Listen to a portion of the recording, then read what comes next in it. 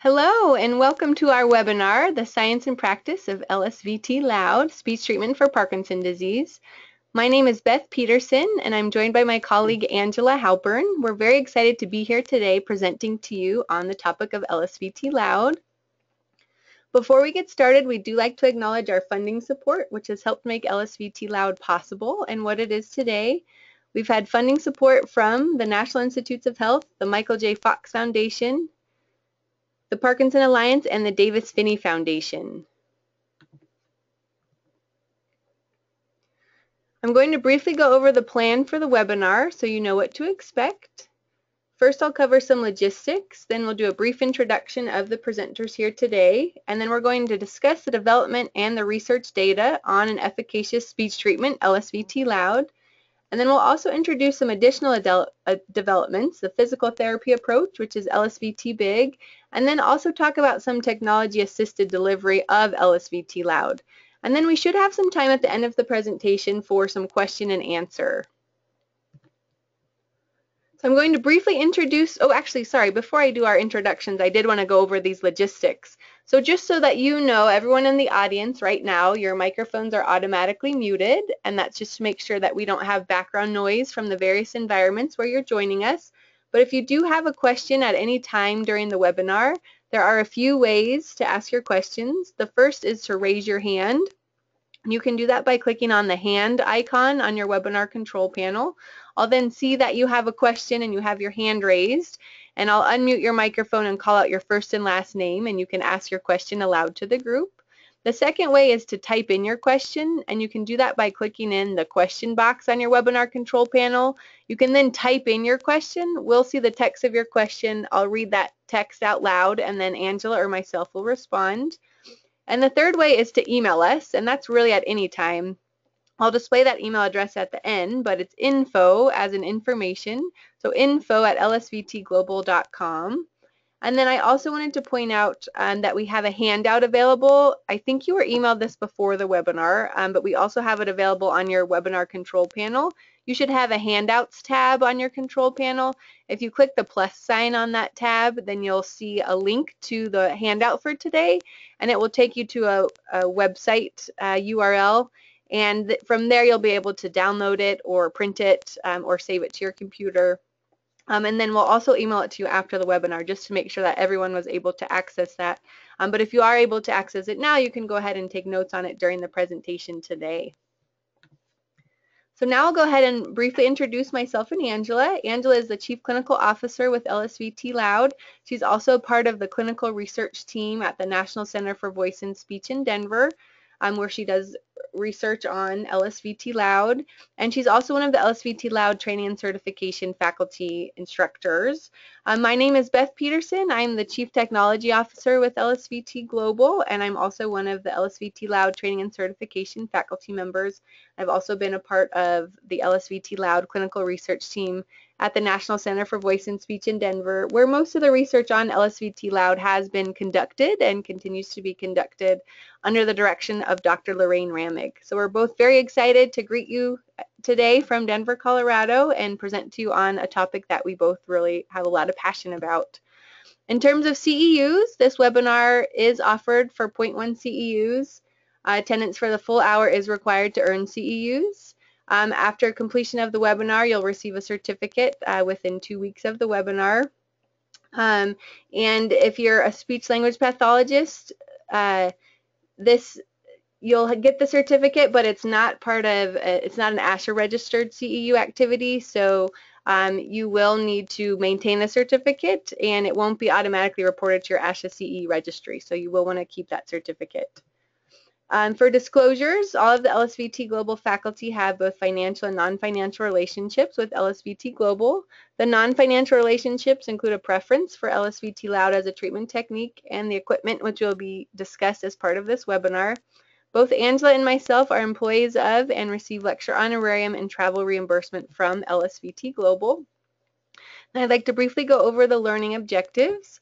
Um, so the objectives today are to we hope that at the end of the presentation, you'll be able to explain advances in neuroscience and the importance that they have on the field of rehabilitation. Then also be able to discuss the development and data on LSVT Loud, which is an efficacious voice and speech treatment. We also hope you'll be able to describe the development and key aspects of the limb motor treatment, which is LSVT BIG, which is the physical and occupational therapy approach. And then also be able to outline future direct directions and alternative modes of treatment delivery using technology, which we'll spend some time on at the end of the presentation. So we'll go ahead and get started in the heart of our presentation here. And we really like to recognize that it's a stunning time for us to be in the field of rehabilitation today. The basic science evidence that documents the positive value of exercise, in particular in Parkinson disease and animal models of Parkinson disease, have raised the value of using exercise and exercise-based rehabilitation as a therapeutic option for people with Parkinson's. So classically, Parkinson's was predominantly treated neuropharmacologically and surgically. Oftentimes, rehabilitation only occurred later in the disease, where we really weren't able to treat the primary characteristics of bradykinesia and hypokinesia, um, but rather we were often treating secondary consequences such as aspiration pneumonia from swallowing challenges or a hip fracture from a fall. So today we know that the key exercise, the key principles of exercise can drive this concept of activity-dependent neuroplasticity and the changes in the brain that are dr driven by activity of the body. And with that, in animal models of Parkinson's, it's demonstrated that it can improve brain functioning, and the goal is to potentially slow disease progression. So even if we can't slow the disease, perhaps we can slow or minimize the symptoms of the disease. So today we have this concept that exercise is medicine and it's really an important part in the care of Parkinson's.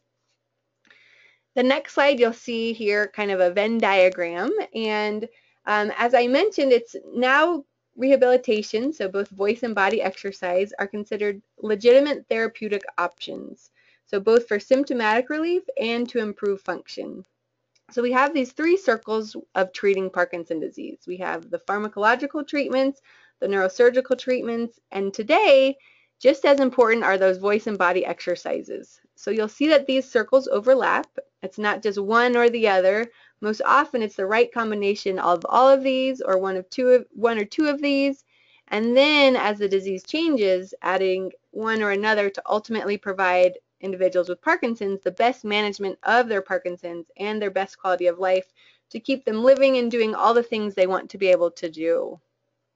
So next I'll show you a video example. Um, this is Shirley. She was 59 years old at the time of the video and she was two and a half years post-diagnosis of Parkinson's. She's on her medications both before and after in the video and you see her before and after receiving LSVT Loud. Um, and, and when you see her post, it's right after her 16 sessions of treatment. So let's go ahead and take a look at our video. And I will say sometimes the videos, depending on your computer setup or network connection, they don't play as great as we would like them to play. So a lot of these videos we have on our website. So if you aren't able to get them to play well during the webinar today, if you go to lsvtglobal.com and click on um, video and news, then you'll be able to see some of the videos from today. So we'll go ahead and play Shirley here. Have you noticed any changes in your speech or your voice that you would associate with Parkinson's? Yes, I don't speak loud enough a lot of times. Anything else? Hoarse. Uh-huh. Anything else? I stutter, which I never did before. Do this for me if you would. Take a deep breath and say ah for as long as you can. Ah.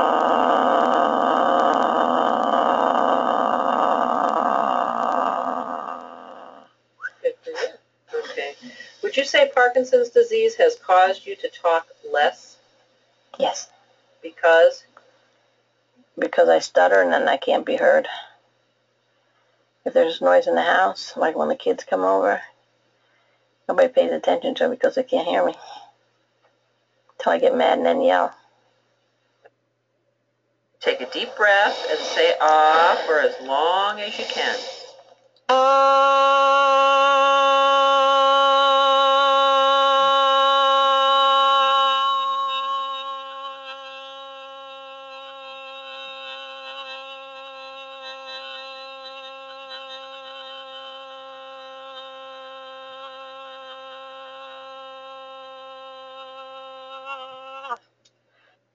You noticed changes in your speech or your voice as a result of the speech therapy? Oh, yes. What have you noticed? I talk louder. I think louder. I'm going to sing with the Son of the Sons of Pioneers one of these days with my, my voice. Good for you. That's excellent. Uh, what practicing do you do at home? my ahs, my highs, and my lows. And I read out the, the mail out loud. Excellent. Do you feel like practicing helps? Oh, yes. Okay. Um, do you feel as though people can understand you all of the time now? Majority of the time, unless it's my husband, and he'll say, well, I can't hear you. Good for you. But I think he does that just to be cute. I think he does too. Has anyone commented that it's easier to understand you now? Oh, yes, I set some of our friends back when we went to their house and I talked loud. Lou says, what the hell happened to you? My daughter said, oh, Ma, that's you? Isn't that good? Don't you feel wonderful? Oh, yeah, because now she can't say, I didn't understand what you said. Right? No excuses, right? Mm, yeah, That's no right. excuses. All right. So what do you do when you want to be as easy to understand as possible? Think loud. Okay, so hopefully that video played okay for you, and I hope you could hear the changes in Shirley pre to post. So obviously her voice was louder, and that's really the main target of treatment, but in addition to that loudness, you may have heard her quality of her voice improved, the articulation improved, her clarity of speech was better, and more globally, you could probably appreciate changes in things like her facial expression and overall confidence and, and changes in personality. So those other changes aren't uncommon and that are and they're secondary to the behavior intervention that we're doing. Oftentimes when people with Parkinson's complete exercise-based neurorehabilitation programs such as LSVT Loud or LSVT Big, which we'll talk about, they really gain confidence that they can control some aspect of their Parkinson's beyond their drugs and, and waiting for that medicine to kick in. So that's really an exciting feature of doing the LSVT Loud treatment. So I'm going to go over the background and development for LSVT Loud and kind of walk you through where there was a critical need for speech treatment in Parkinson's.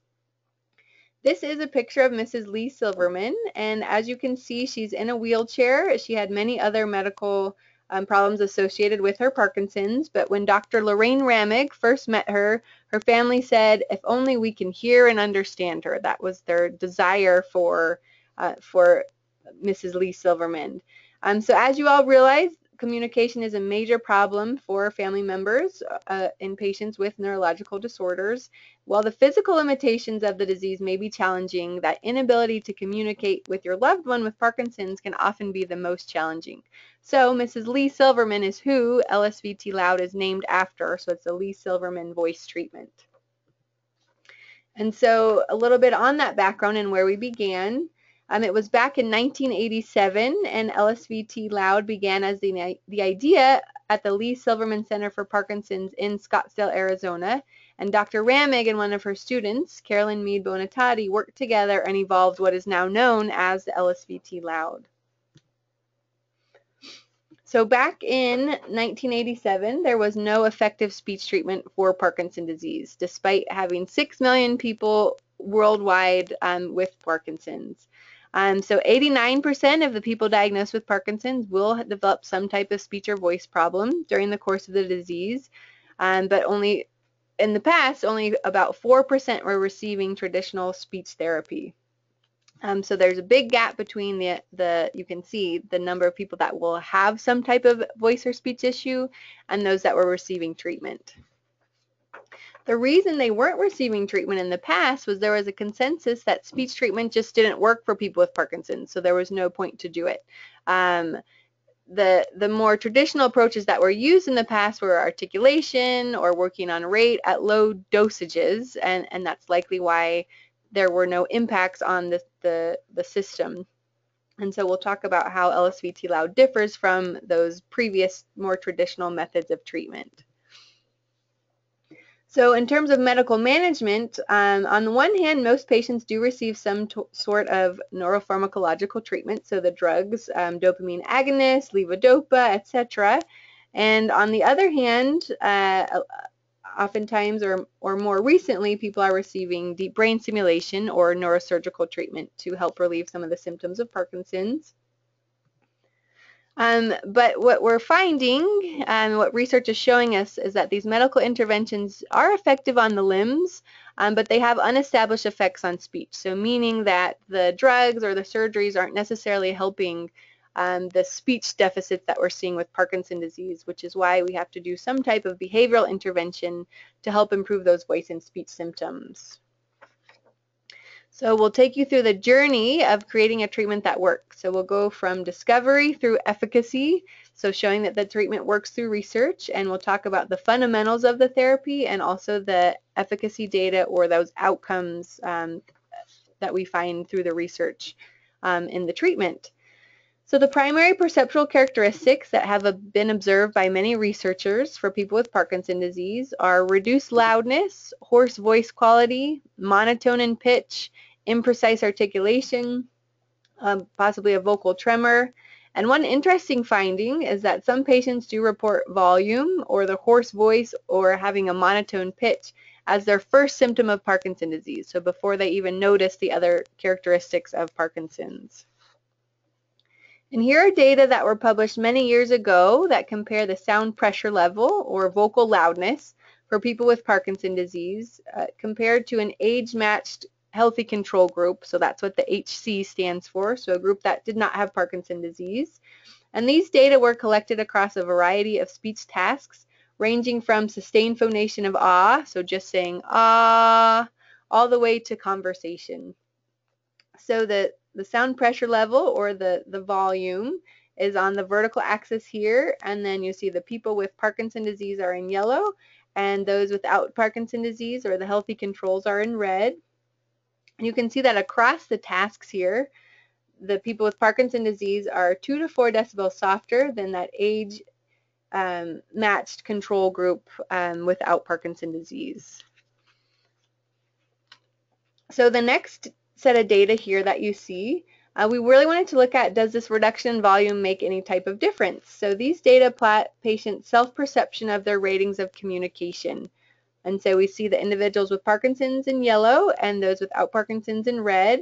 And what you see overall is that patients with Parkinson's disease were less likely to participate in conversations or have confidence in their voice compared to that healthy age-matched control group. So this data helps us see that yes, the speech problem does make a difference. And even more so than the data that we have, the, the quotes from patients really support this fact even further. And that's what really drives us to do the research that we do um, with, with this population. Um, so we have some quotes from the past, if I have no voice, I have no life, or no one listens to me anymore. Um, Miller and his colleagues had a have a quote in one of their their papers that shows that people with Parkinson disease live for years frustrated by communication impairment, withdrawal, social isolation, and embarrassment. So we really see from um, the perspective of individuals with Parkinson's that yes, the speech problem does have an impact on their quality of life, and that's why we wanted to address that issue. So this slide just shows you the over 20, now it's over 25 years, I think, the 25 plus year journey from invention to scale up um, with LSVT Loud and where it got started. Um, so they, they had a series of funding grants from the Office of Education and the National Institute of Health to run a series of randomized control trials to evaluate the efficacy of LSVT Loud and to really understand the changes occurring in the speech production system in patients before and after receiving LSVT Loud. So this helped understand the basic mechanism of change. In addition, there was also funding to do imaging studies to understanding what, what's happening at the brain level of someone with Parkinson's disease after they have successful treatment. And then simultaneous to establishing this research base of treatment efficacy and those underlying changes, the team was also motivated to scale up access to this treatment. So on the one hand, um, our team has worked to train speech clinicians so that treatment is available to more patients. At the same time, we're turning to technology to offer patients ways to make it easier to have access to speech treatment. Um, so some things we'll talk about later in the presentation, telehealth delivery. Um, we also had funding from the National Institutes of Health and the Michael J. Fox Foundation in a software development so that patients can actually practice on their own or have easier ways to do follow-up treatment. So through this research that you see, we've worked at multiple level levels and continue to work at these levels to establish that research base so that efficacy is well established. We understand the fundamental mechanism associated with treatment-related changes so that we can continue to improve treatment. And then we're also turning to, to ways that we can scale up access to this treatment approach so that that treatment that's well established in the research lab can be delivered to patients globally, so all around the world. So I'll now talk about LSVT Loud and the three paradigm shifts that make LSVT Loud different from traditional speech therapy. I'm going to talk about the target of treatment, which is targeting healthy vocal loudness, which is the only target of treatment. And then we'll also talk about the mode of delivery, which is intensive and high effort. Um, and then we'll also talk about a calibration component. So that calibration component help, helps to address the elements that get in the way of generalizing those new treatment effects outside of the treatment room. So LSVT, in summary, will have a target of loudness, a mode of delivery that's intensive, intensive and high effort, and also has a focus on calibration.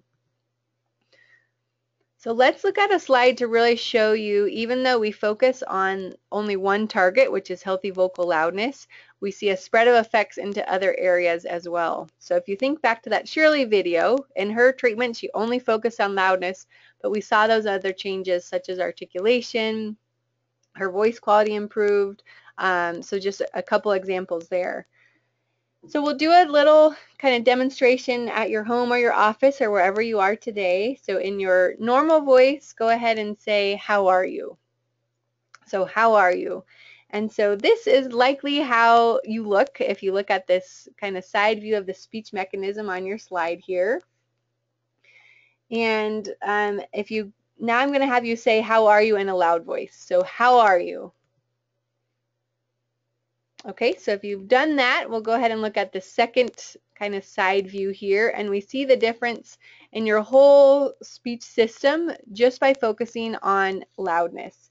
So without even thinking about it, when you increase your loudness, you automatically took a deeper breath, you closed your vocal folds more, you opened your mouth more, your tongue, your lip, and your jaw moved more, and out came louder, more intelligible speech. And the key element with that is that you did it without even thinking about it. So imagine that you can make these changes across your speech production system with only one target. So think loud. You can use that one simple target of increasing loudness to make the coordinated changes across the entire speech production system. And that's really the fundamental element of what we do with LSVT Loud.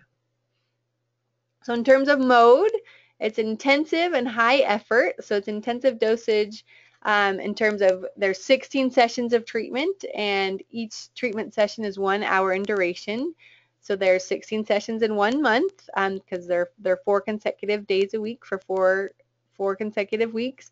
And there's also intensity within sessions. So we're working to high effort levels within every treatment session for that entire hour. So we have high effort because there's multiple repetitions of all the exercises. Um, we're building up force uh, and resistance. We're also working to improve accuracy and working patients to healthy fatigue. So you get that, again, that intensity and high effort across the 16 sessions of treatment and then also within each individual treatment session. And the data show us that intensive practice is important for maximal plasticity or, or making those maximal changes in the brain. And so if you think back to that previous slide, um, where it showed that just speech treatment didn't work in the past and and those were low dosages of treatment and and likely that's why we didn't see the changes in the past that we do now when we have this intensive high effort treatment approach. And then lastly with calibration, um, so with Parkinson disease there's a mismatch in between the online perception of a patient's output of their speech and how others perceive their speech. So oftentimes we hear individuals with Parkinson's say, I'm not too soft, um, and they'll think that the world needs a hearing aid, that it's not them, it's everybody around them. And then when they're asked to get louder, we often hear, I can't speak like this, I'm shouting. So in LSVT Loud, we're addressing that sensory problem in Parkinson's disease. And there's sensory gating literature documenting that individuals with Parkinson's disease do have this sensory mismatch. So when vocal loudness is within normal limits, individuals with Parkinson disease perceive it as too loud. And so that's really the sensory problem that we're addressing to make sure the changes that we make in the treatment room do carry over outside of treatment into an individual's everyday living. And so through that target of increasing loudness, the mode, which is intensive and high effort, and that calibration, so making sure that individuals now can internally cue themselves to use that louder voice, we're increasing that amplitude of output um, so that they, they can and will use this new loud voice outside of treatment all the time and, and it becomes more automatic. So I'm going to turn it over to Angela now, and she's going to get into the efficacy data and show you some of the research that's been done on LSVT Loud. And then she'll also talk a little bit about LSVT Big. Well, thank you, Beth, for that great overview. And I'm very happy to be here with all of you here today. Um, as Beth mentioned, I'm now going to talk with you um, about some of the efficacy data regarding LSVT Loud. And we think it's important to share this data with you so that if you are an individual with Parkinson's and you decide to participate in the treatment, or if you're a therapist delivering the treatment, you can feel confident that the treatment um, you're investing your time and energy into is well researched and supported by data. Next slide, please. In addition to the outcomes in loudness, research on LSVT loud over the last 25 plus years has established, as Beth referred to earlier, what we call the spreading of effects. So what we mean by this is that even though the treatment is focused on the voice, we see a cross-system effect to other areas as well. So this diagram demonstrates some of the research documenting these cross-system effects. We have a full reference list um, for some of these that are referenced on this diagram here on our website, or if you let us know here during the webinar that you'd like that full reference list, we're happy to send it to you. This just gives you a few examples. So we've seen, in addition to our improvements of loudness, when we look at the spreading of effects, significant improvements in other areas such as articulation, respiration, facial expression, and we have some uh, demonstrations of actual physiological changes at the level of the vocal folds, which we'll talk about in just a bit um, more. And also some preliminary data showing changes in swallowing and neural functioning as measured by positron emission tomography or PET imaging. And I will show you more data on the swallowing and the PET imaging in just a bit. So it's exciting that just by focusing on loudness, we're seeing a cross-system effect to these other areas as well. Next slide, please. So our research data have, as I mentioned, demonstrated some of these physiological changes at the level of the vocal folds. In LSVT Loud, we're increasing effort across the motor speech system to achieve a voice that's at a normal loudness level. The video I'm going to show you now is an image of the vocal folds pre-LSVT loud and then post-LSVT loud. And what we see in some individuals with Parkinson's disease is that the vocal folds might be what we call bowed, meaning um, they don't come completely together. And this can lead to a hoarse, quiet, or breathy voice. What we've seen in our research and what's been documented by an article published by Smith et al. is a change in this function to better vocal fold closure following LSVT loud. So what we're going to do is, um, as we play the video, I'm going to talk you through it because some people, you may not have seen an image of vocal folds before, so I'll orient you a bit to what you're seeing. So let's go ahead and take a look at that video now.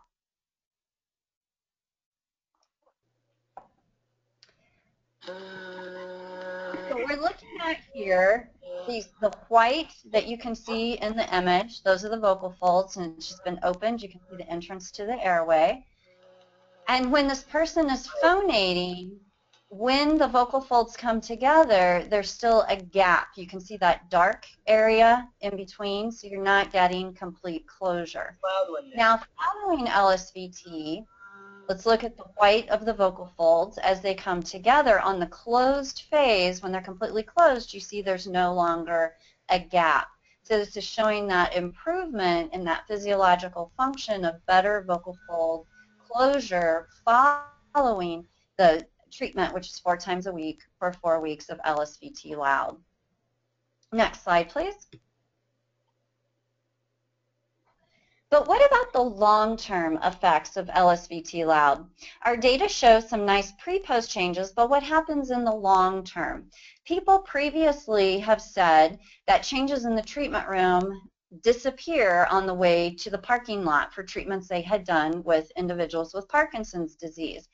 But what I'll show you in our next slide here are some data that look at changes following LSVT out to two years. So we're looking at changes in the main target of treatment, which is increasing loudness over time. This data was published by Ramig et al. in 2001. So if you look at the vertical axis, you're seeing loudness levels as reported while reading a rainbow passage, and this is just a standardized reading passage. And then if you look at the horizontal axis, you see time documented and plotted here. The red line is the LSVT loud group, so people who focused on four times a week for four weeks of treatment doing LSVT loud. The blue line was a group of individuals who also received treatment four times a week for four weeks, but their treatment was focusing on intensive work on respiration. And this was targeted because people in Parkinson's can notice decreased respiration. So two targets that are noticed as having um, people noting difficulties in those areas. If you look at the graph, you see going from the zero mark, which is pre, up to the post mark, you can um, see indicated improvements in sound pressure level for both groups, but at a higher level for the LSVT loud group. And then if we go out to six months, we see that there is a decrease in loudness for the LSVT group, but still louder than the respiratory group and also louder than the pre-treatment levels. And then these levels continue to be maintained out to 12 and 24 months. So it's not saying that treatment results may not last longer than two years, but it's just this graph is showing you two years is how long um, in this group of subjects that we had studied to look at the changes. Next slide, please. So we just talked about these improvements in vocal loudness, which is the treatment target, but as we have mentioned previously, in addition to changes in vocal loudness, we've also seen a spreading of effects to other areas that we were not directly targeting, including articulation, speech,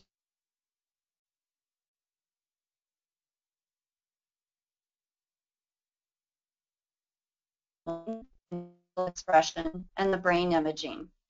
We're continuing to study these areas and hope to have more data and information soon. We just finished another research grant in 2012 where we had an additional 60 individuals with Parkinson's disease participating, as well as 20 individuals that were age matched without Parkinson's. And so we'll have a wealth of new data regarding swallowing and facial expression, and then um, a subset of subjects who were doing some more brain imaging and more data about that to come soon. Next slide, please. But let's look now at some of this preliminary data in swallowing. And we say it's preliminary because in this study there were only eight subjects, but as I mentioned, we'll have more data coming soon. Um, so in this slide, what you're looking at is the pink is before LSVT and the yellow is after LSVT. And this is looking at measurements of oral residue percentage. So basically, how much food or liquid was left in the mouth after a swallow. And these are based on um, ratings that people are looking at of someone who's had an x-ray of their swallowing. So food or liquid is put in the mouth, the person swallows, it's all an x-ray, and so they can see during this moving film how much residue is left and they rate it. Why this is important is that the more residue left in the mouth is indicative of a less efficient swallow. So if the swallow isn't as efficient, food or liquid isn't getting moved out of the mouth, so less food or liquid would be indicative of improvements in this oral phase of the swallowing. So what you can see in this graph is that, in fact, across 1 milliliter, 3 milliliters, 5 milliliters, 10 milliliters, the cup and paste and cookie is what was measured. For most of these, there's less residue left in the mouth following the swallow. We didn't see these changes in the cookie. Um, so that's just, once again, some preliminary data looking at the efficiency of that oral phase. Right now, we're not saying that LSVT loud is a treatment used to directly treat swallowing, but what we are saying is that perhaps if you, um, if an individual is participating in LSVT loud for their voice, maybe they might notice some clinical changes in their swallow as well.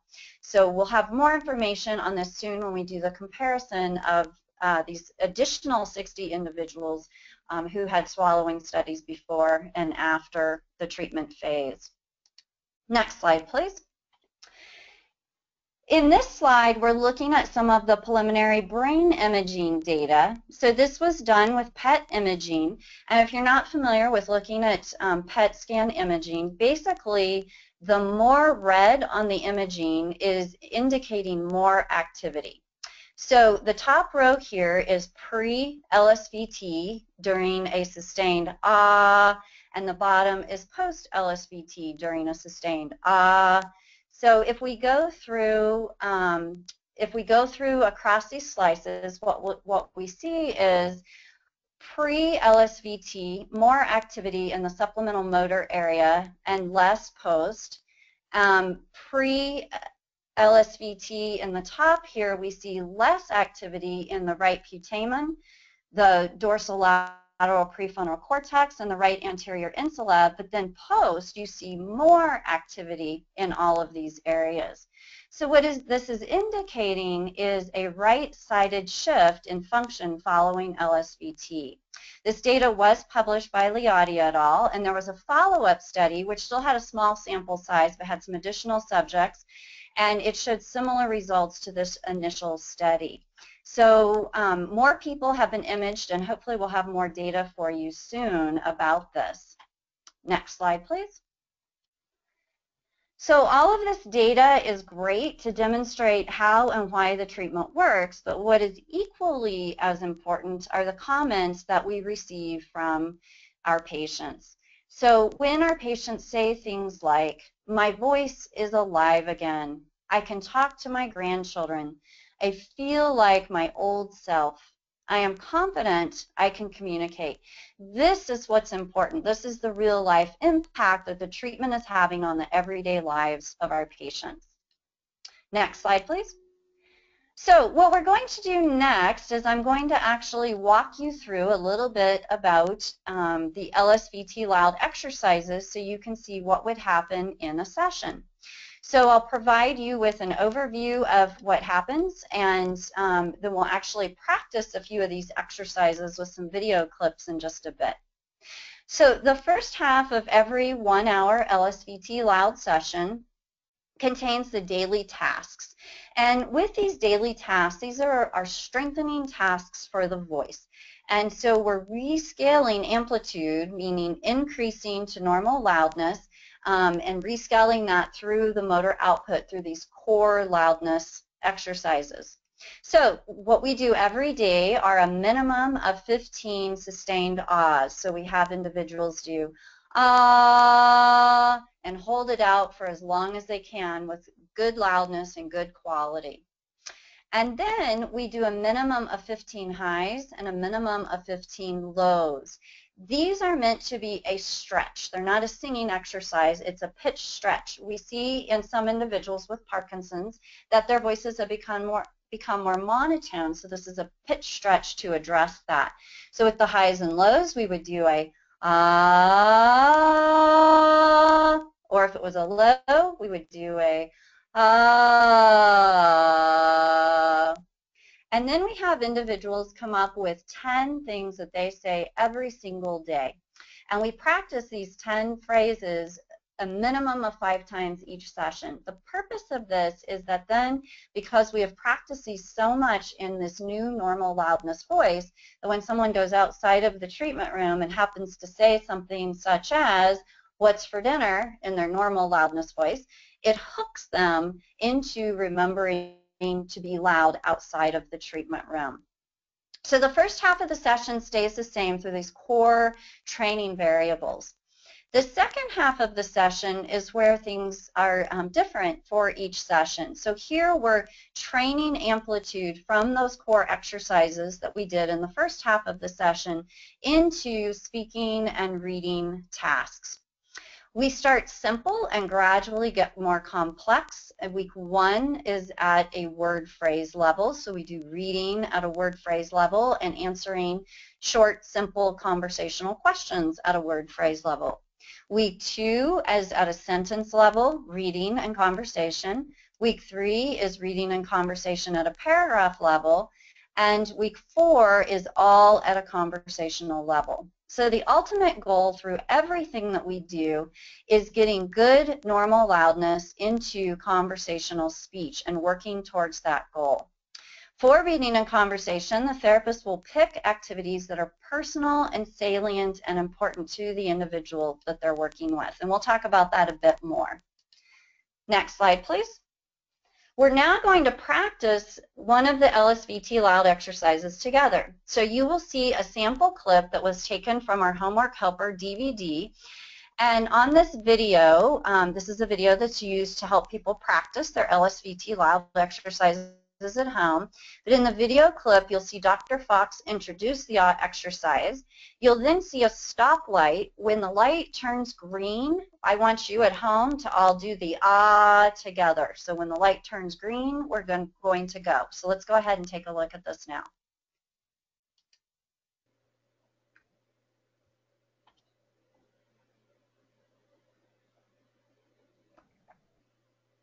What you're going to do is sit up straight and do what I do. Ah. Be sure to think about feeling the same loudness and effort that you used during your speech treatment sessions. When you're ready, you're going to follow along with the counter on the screen and hold that ah using that good loudness and quality for as long as you can. So when the light turns green, let's get ready to do an ah.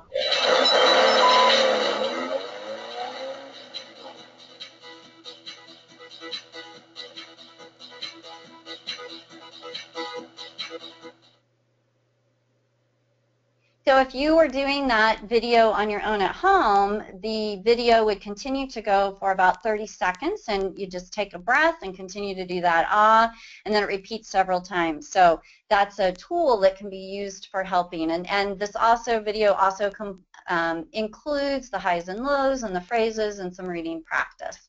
Next slide, please.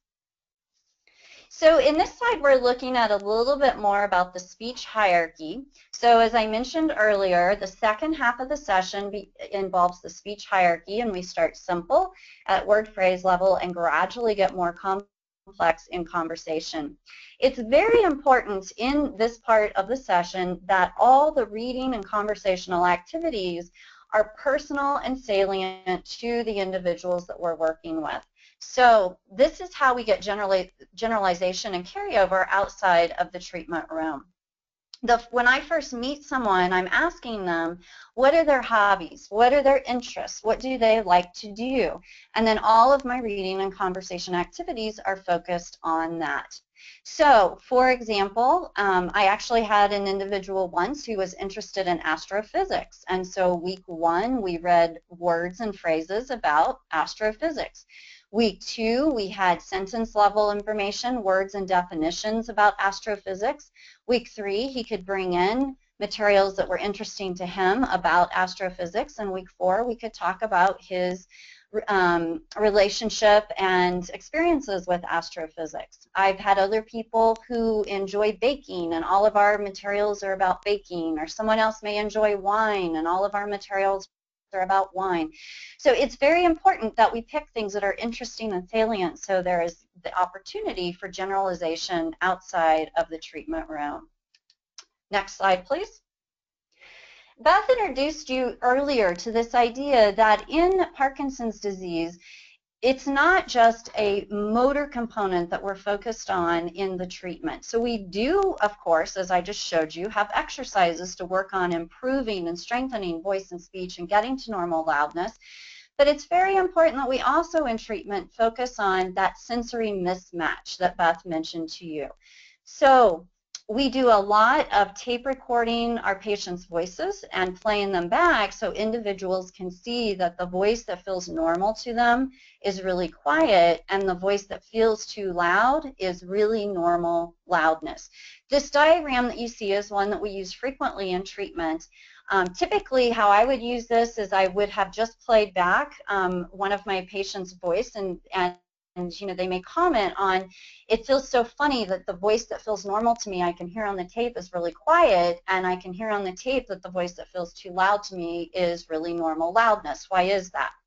Well, an explanation is before Parkinson's disease, your voice is at a normal loudness level. So if you want to get loud or to a shout, you increase your effort one or two steps. But now with Parkinson's, your voice may be at the soft or perhaps even very soft range. So if you want to get to normal loudness, you have to increase your effort one or perhaps even two steps to get to normal loudness.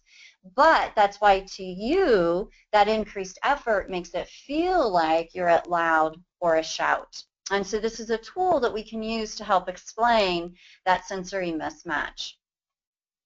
Next slide, please. What we tell our patients is if you don't feel like you're talking too loud, you're not talking loud enough. Next slide, please. So an important part of LSVT Loud is retraining the sensory system so that our patients can learn on their own how to generate or internally cue this voice that requires them to get to normal loudness. So for some individuals, it may take more effort than others to get to that normal loudness level. But we do a lot, as I mentioned, of playing back tape recordings of the voice. We give our patients activities to practice outside of the treatment room using the new normal loudness voice so that individuals can see that even though the voice feels too loud to them, it really is the response they're getting from other people is, no, you sound great. I can hear you now. I can understand you. You are not too loud. And so this is a very important part of therapy. And then helping people learn to target or what we call internally cue that voice on their own without cues from the, us as therapists. Next slide, please. So you've seen the research and heard about LSVT loud and what happens when we increase amplitude at the level of the motor speech system. But what would happen if we take these same principles and apply them to limb movement. Next slide, please. So let's talk now about the translation of LSVT loud to LSVT big. After many years using LSVT loud in the treatment of voice and speech and Parkinson's disease, LSVT big was developed through a collaboration of the LSVT research team and researchers from the University of Arizona. So the idea is taking these same ideas, same principles, and applying them to limb movement. Next slide. So what you see in this slide is a sketch that was made by an LSVT big workshop patient volunteer who had Parkinson's disease. He was so moved after just a one-hour demonstration session that he sketched this on a napkin. So his perception of his movement before attending the practicum is on the left. And as you see, after his one hour long session, his perception of himself was much different. So notice not only did he sketch his stride to be long and his arm swing is big, but he was going faster, standing up straighter, and even looked happier. So in the clinic, these um, are the types of changes that our therapists see over and over again when they're using the LSVT big treatment. Next slide. So just as LSVT loud needs to be delivered by a speech therapist who has been trained and certified in the treatment approach to make sure they're delivering it as it's been researched, LSVT Big also needs to be delivered by physical and occupational therapists who have attended an LSVT Big training and certification workshop. This is really important so that our therapists are delivering the treatments in a consistent manner that's based on the protocols that were researched. So just like LSVT Loud, LSVT Big is four times a week for four weeks, 16 sessions in one month. Each session is one hour in length their daily carryover and homework assignments, and the, the intervention is given one-on-one. -on -one. It's really important that this is not delivered in a group setting. Next slide, please. The sensory mismatch that Beth mentioned previously in relation to voice also exists for limb movement. So we see the same mismatch between the online perception of output and how others perceive it. So this is demonstrated by the quotes you see here from patients. I had no idea how small my world had become. And then when we get people to normal movement, I can't move like this. People will think I'm crazy. So it's this idea that the normal movement feels too big. And so sensory calibration is incorporated into LSVT big as well to help individuals see that, nope, it's, the movement is not too big, it's normal movement. Let's now watch a video demonstration of pre-post LSVT big. In the video, you're going to um, be seeing a 71-year-old um, gentleman, and um, we're going to just talk you through the video, and you'll see pre on the left-hand side and post on the right-hand side. So let's go ahead and take a look at that now.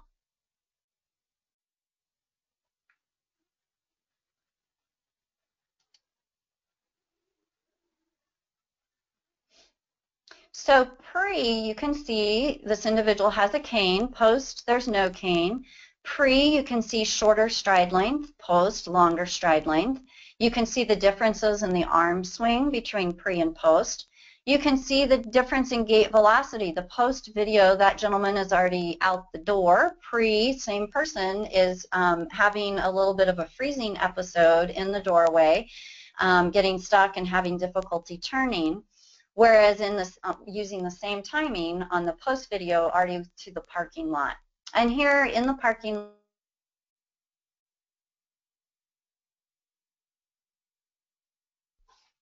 So when we actually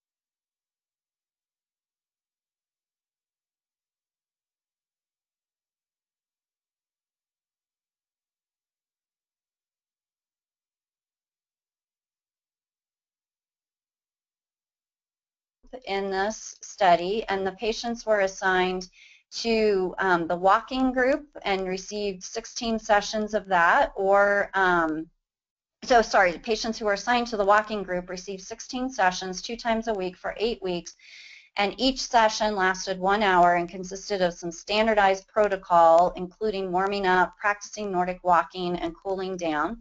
Patients assigned to the home program received a one-hour instruction um, with practical demonstration and, tra and, training, and then the LSVT Big was four times a week for four weeks. So what you can see here is looking at UPDRS scores, Unified Parkinson's Disease Rating Scale, and on this scale, a decrease in a score indicates improvement. So as you can see from the graph, the LSVT big group was the only one that showed improvement from the baseline to the four-week mark and continued um, to show some improvements throughout the course of the study. Next slide, please. So I'm now going to turn it back over to Beth, and she's going to talk to you about some future directions with programs and technology. All right, great. Thanks so much, Angela. So on this next slide, you see just a couple pictures um, that, that show you some of the technology that's been developed. And this is the technology we're looking at to help make LSVT Loud as accessible as possible to both, both individuals wishing to receive treatment and to speech clinicians. So on the left, you see an image depicting LSVT E-Loud, which is telepractice delivery of LSVT Loud. So the patient sits at home or their office on their computer, and the speech clinician is in their their clinic or their home office, and you use either you use some type of internet software, such as um, Skype has been used in the past, but there's there's been more development since that. But you're using your internet connection, so basically you're beaming in, and your speech clinician delivers LSVT loud over the internet. So today there are um, multiple published articles that document LSVT loud delivered over telepractice is as efficacious um, as treatment that's delivered face to face.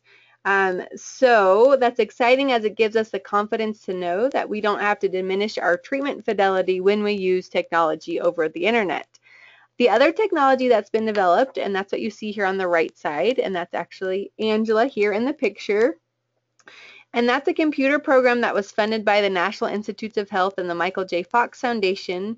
And it can deliver treatment sessions or it can help with homework sessions or follow-up practice. And that's called the LSVT Companion. And here's some data that were um, collected on when patients did use the LSVT Companion. And this data shows you um, when 16 sessions of treatment were completed, but nine of the sessions were done in person and seven were done on the LSVT companion. And you'll see here in we have purple, um, the peach, and the yellow. Um, and we see for sustained phonation all the way through a cognitive task. Um, and so we see improvements improvements from pre to post. These are all the individuals that were using the LSVT companion for, for some of their sessions. And then the yellow goes to six month follow-up. So we see those improvements from pre to post and then also maintaining out to six months. So this is showing us that the changes were consistent with those reported when all 16 sessions of treatment were done face to face. So again, using the LSVT companion for some of the treatment sessions did not reduce the, um, the fidelity of treatment. So we had the same types of outcomes. If you were interested in doing this type of method using the LSVT companion for some treatment sessions, you would need to read the article that's been published um, with this data to see the exact methods that uh, that the authors followed um, because there was a very specific way to do these methods to make sure that um, not all of the sessions were first done on the LSVT companion without any in in-person sessions. Um, so you just want to follow those methods to make sure that you can expect the same types of results.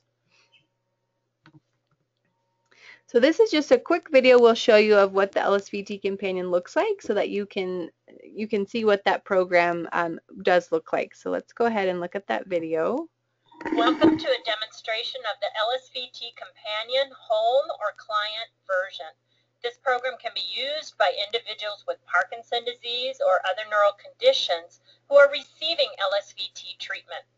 The program can be used by clients for their homework practice, or it can be used actually to deliver an entire independent treatment session, either within the clinician's clinic or at home by the client. This is the welcome screen for the program, and the client can choose to display data or not. They'll click Start Exercises and then follow the prompts through the program. Okay, let's get ready. Let's do those loud ahs.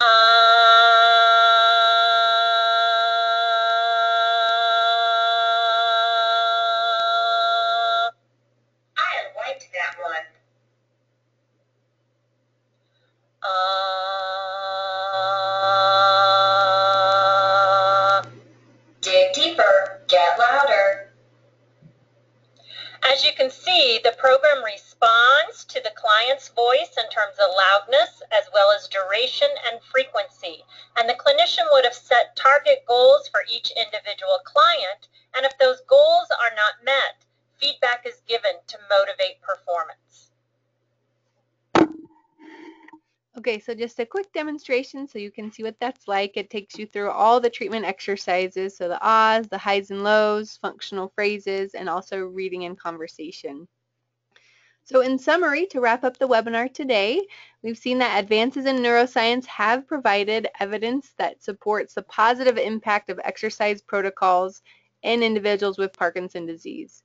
We've also seen that the LSVT programs have been developed and studied for the past 20 plus years and that LSVT loud has well-established efficacy and is considered the level one evidence for speech treatment in Parkinson's. LSVT Big is one type of physical and occupational therapy program that does have the potential to offer improvements in movement and quality of life for people with Parkinson's. And then we've also seen how technology can assist with accessibility of LSVT Loud. If you are an individual with Parkinson's disease or another neurological condition, we've listed on this slide how you can get started with LSVT Loud and LSVT Big. First, we recommend asking your doctor for a referral. Um, it can also be helpful to actually get a prescription um, for speech and physical or occupational therapy evaluation and treatment. And you can use our website, so lsvtglobal.com, to find LSVT Loud and LSVT Big certified clinicians in your area. And with LSVT Loud, we also have LSVT E Loud listed. Um, so if you were interested in telepractice delivery, that's an option. And then the slide or the video that Angela showed you um, with the DVD, so that was when you practiced the ah when you saw that stoplight. Um, that's available too. We have them for both LSVT Loud and LSVT Big. Um, if you do, we, we have it on our website, but we also have it on the Amazon store. So if you go to the Amazon store, there's usually better shipping prices. So that's where we would recommend if you wanted to purchase it that you would you would went to Amazon um, to get the best price there.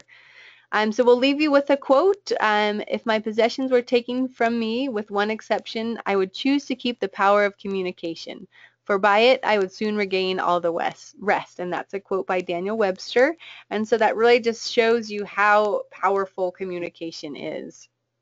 Um, so I know we're at the end of our hour, um, but we'll go ahead. If you do have questions, feel free to, to answer or to write those questions in. You can do that by typing in um, the question box on your control panel or by raising your hand.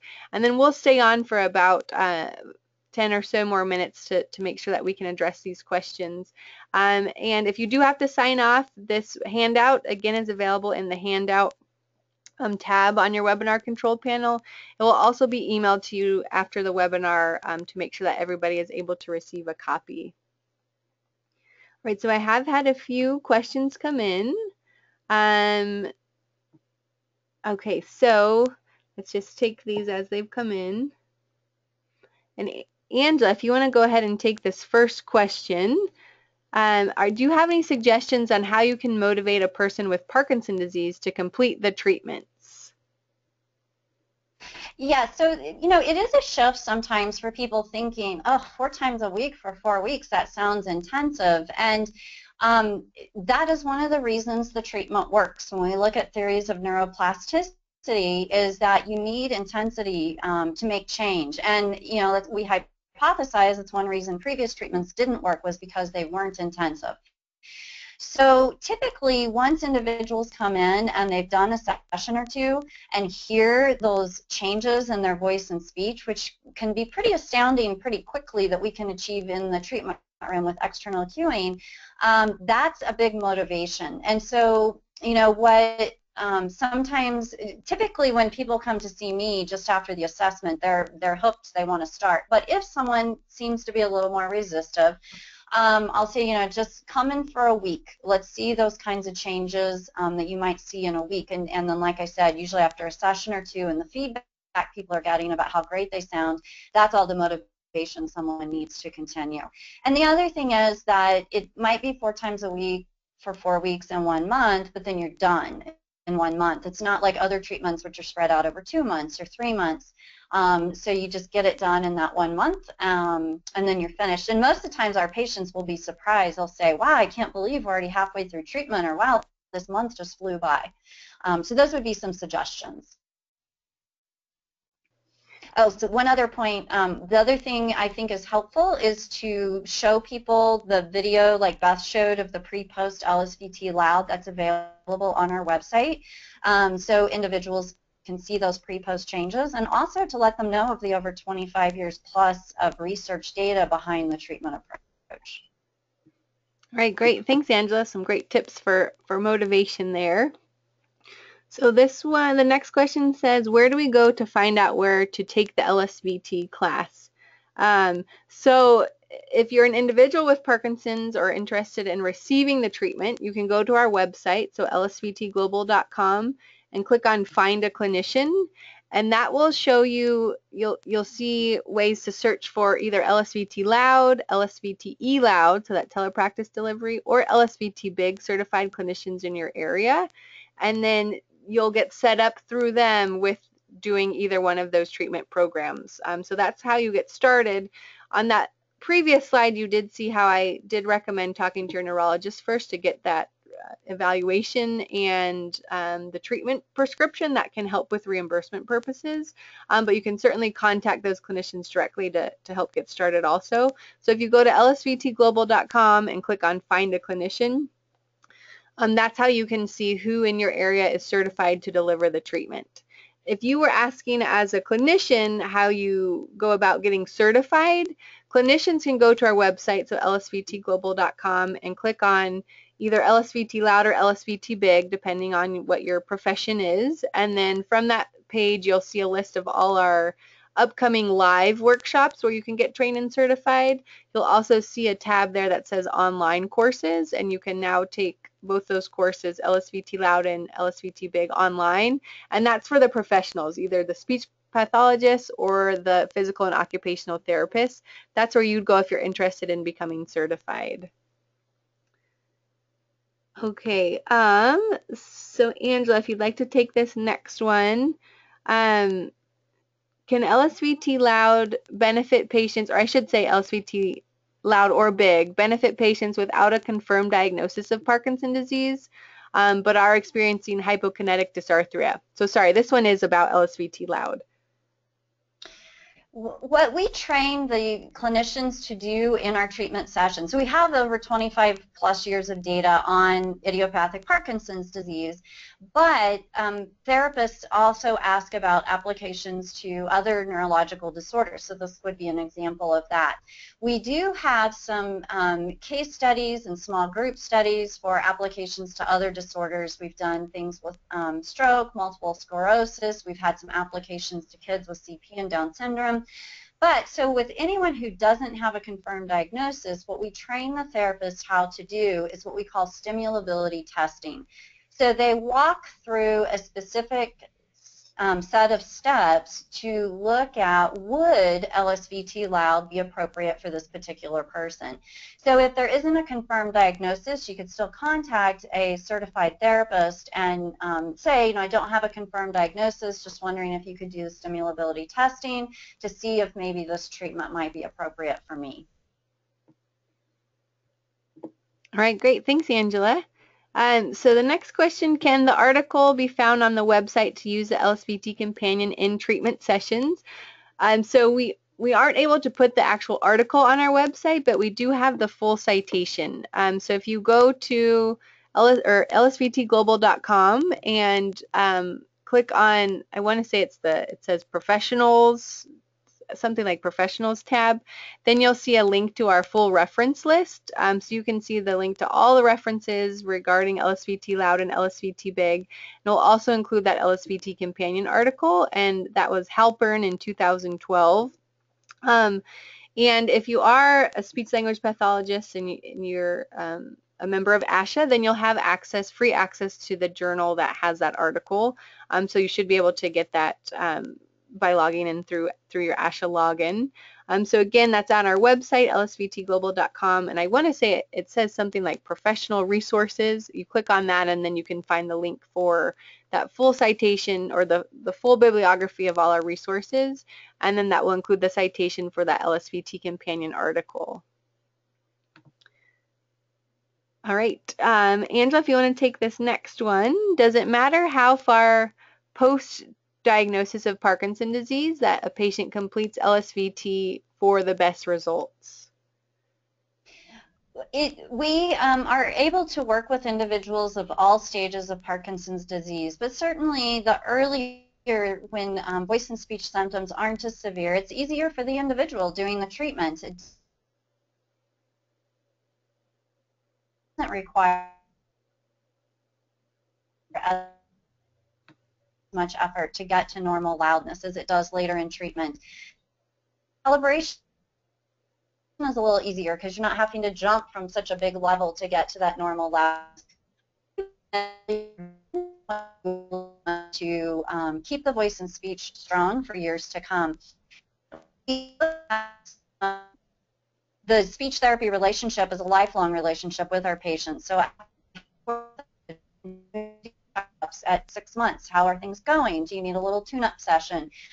Uh, continue to practice to keep their voice and speech strong. So it's not to say that can't benefit from the treatment, um, but it may be um, more difficult treatment. And you know, for some very severe patients, it may be we're looking more phrase level with cueing, things like that, rather than this ease of loudness in conversational speech. However, all levels of improvement are important for people to have function to be able to communicate their thoughts and ideas. All right, great. Thanks, Angela. Um, the next one, can LSVT be delivered as group therapy? Um, so the short answer to that is no. Um, for both LSVT Loud and LSVT Big, it's very important that the treatment sessions are personal and they're individualized to each patient's individual needs. Um, so um, not only to make sure that patients are working as hard as possible, so we're getting to the high effort level of each individual patient, but you also saw that process of calibration is so important. So we really need to make sure that we're tailoring the, the, the materials, um, the effort levels, the, the types of cueing that we use to individual patients um, for both LSVT big and LSVT loud to make sure that we get the best results.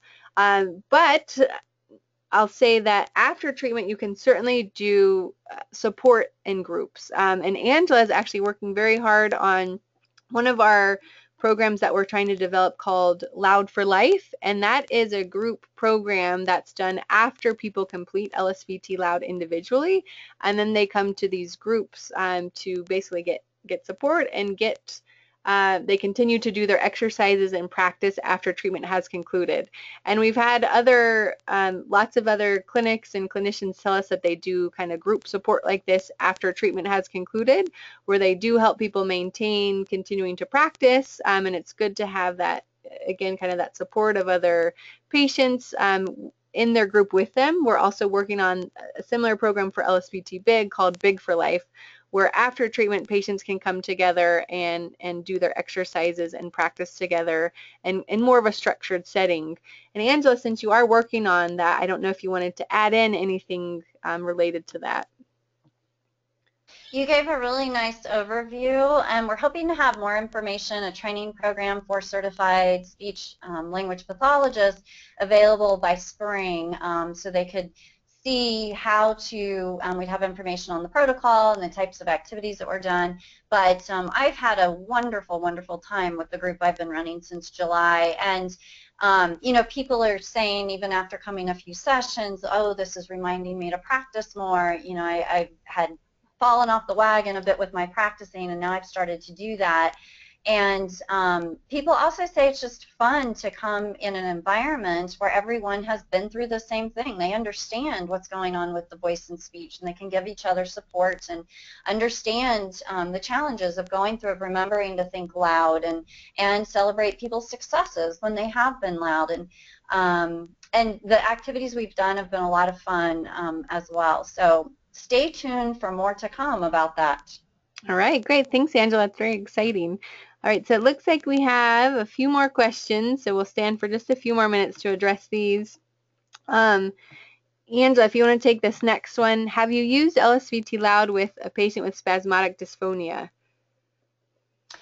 I personally have not, so I cannot speak directly to that. Um, that could be a question um, that if you want to provide Beth with your email and information, that we could get a little more information for you about that.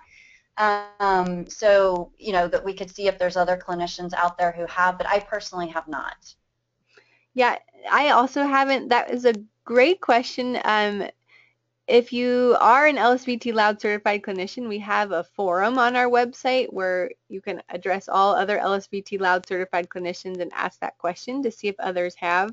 Um, if you're not an LSVT Loud certified clinician, um, that would be a great, as Angela said, a great question for our expert of the month to address a little bit more um, and, and, see if um, they have more experience with the spasmodic dysphonia or or have more information for you. So I do have your email address. It came through with your question, um, but again, it's not something that that I've used it with, and it sounds like Angela hasn't either.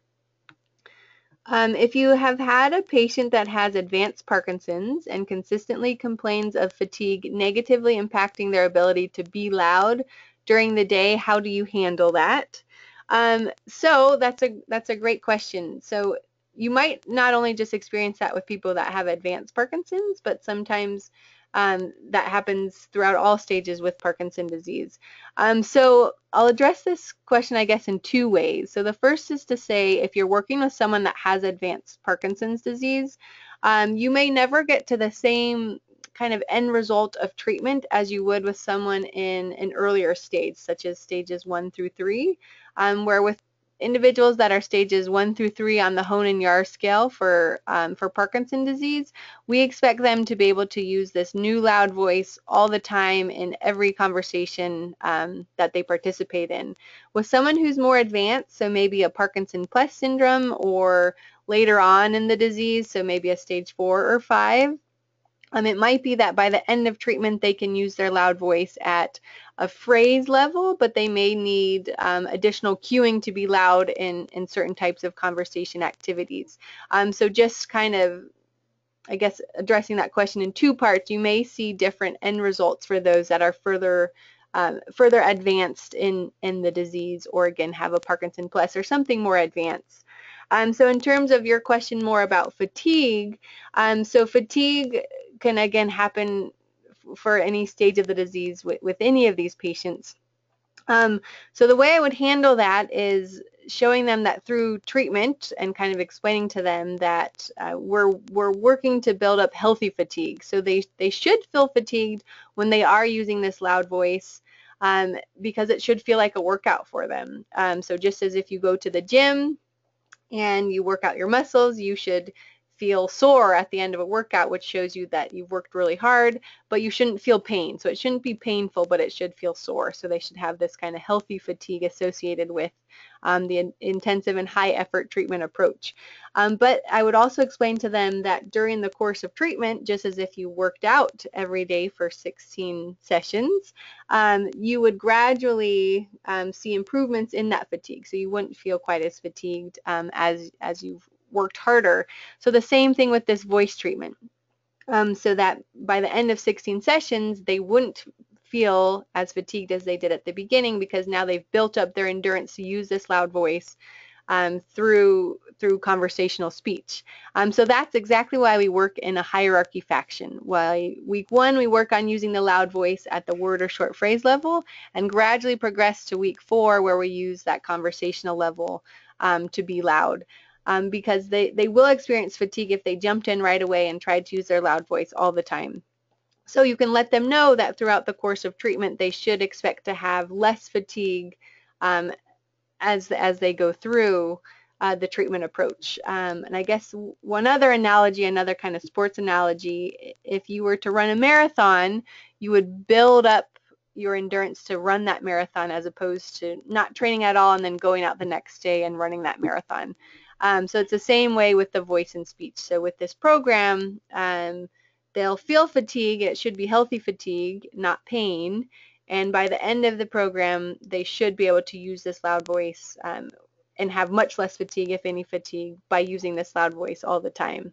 So hopefully I addressed that. Um, I know I kind of went on and on, but hopefully that makes sense, um, both in terms of working with advanced patients and then also how the fatigue should change throughout the course of treatment. All right, um, the next one, so Angela, if you want to take this one. If a patient complains of having worsening or hoarse voice quality after LSVT loud, what could we do to assist with this or what could be the issue? Well, the first thing is, and, and we um, heavily stress this in training with the therapists that we're working with, is that um, patients should never notice any strain with their voice or tension with their voice or um, worsening of the voice when doing LSVT loud because LSVT loud is only training healthy voice use and quality. So um, if a patient is noticing that um, the voice feels strained or there's a different quality, then um, my first response is asking